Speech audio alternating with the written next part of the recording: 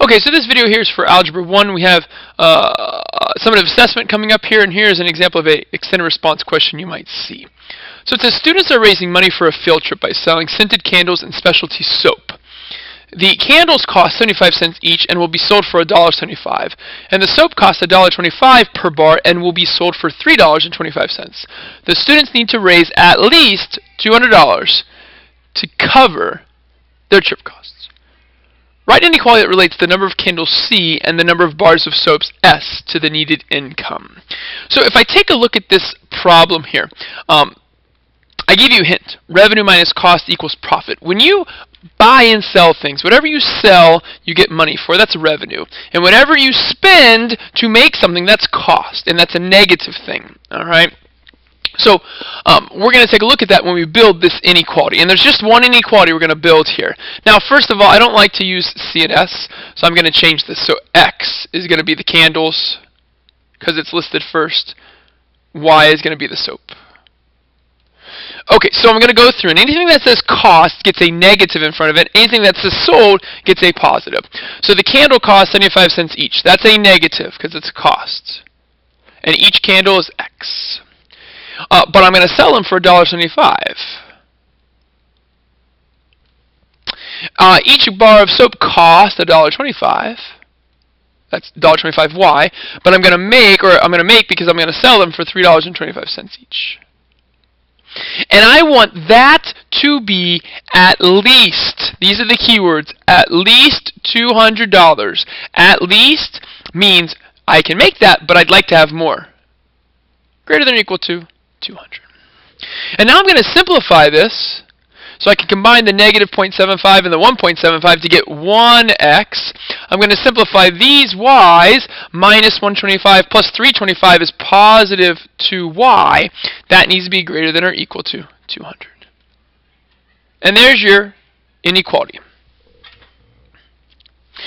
So now we move on down here, and don't forget that inequality. I'm going to leave it at the top there. Hopefully you can see it still. Uh, it says the wholesaler can supply no more than 80 bars of soap and no more than 140 candles.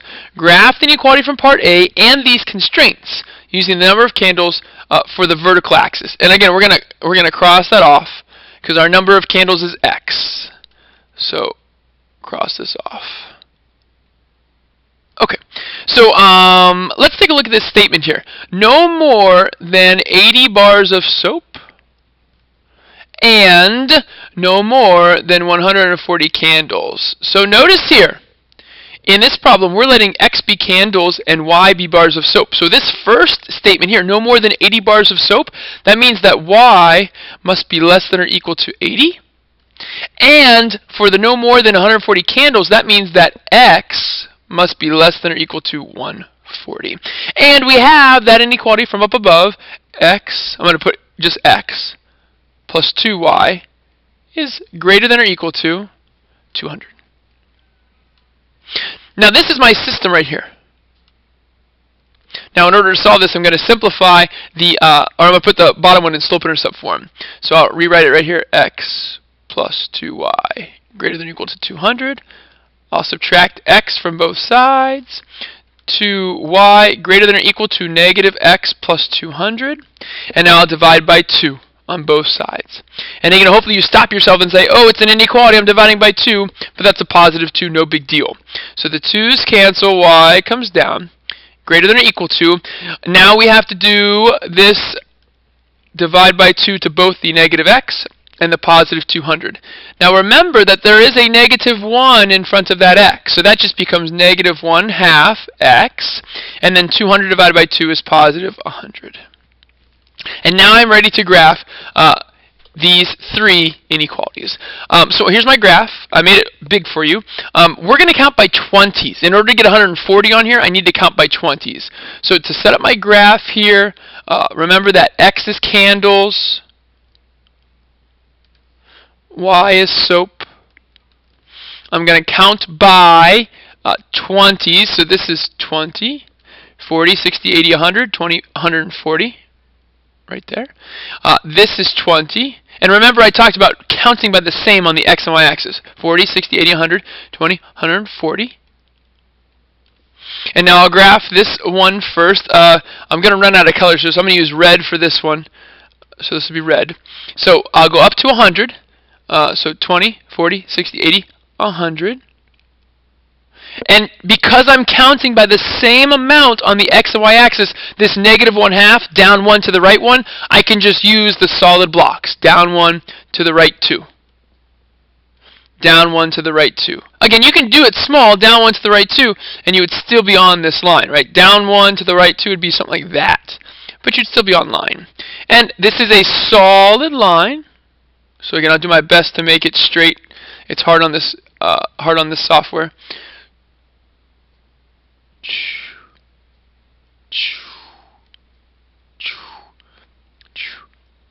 Okay, so that's my best job, and greater than means above, so I'm going up here. And again, notice how lightly I do it, or I don't do too many, because there's going to be a lot of shading going on. And next I'll do, um, though, let's do this one, the x equals in blue.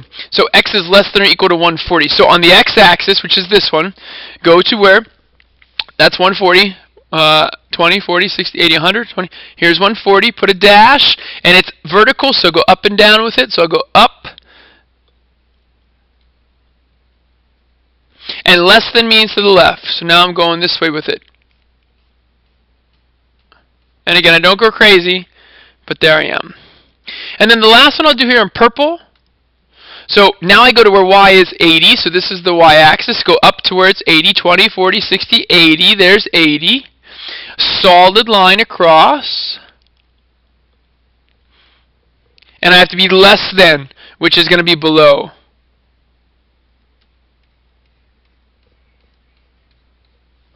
And now what I do is I shade and I'll use black where the three overlap. And it looks like the three overlap right here.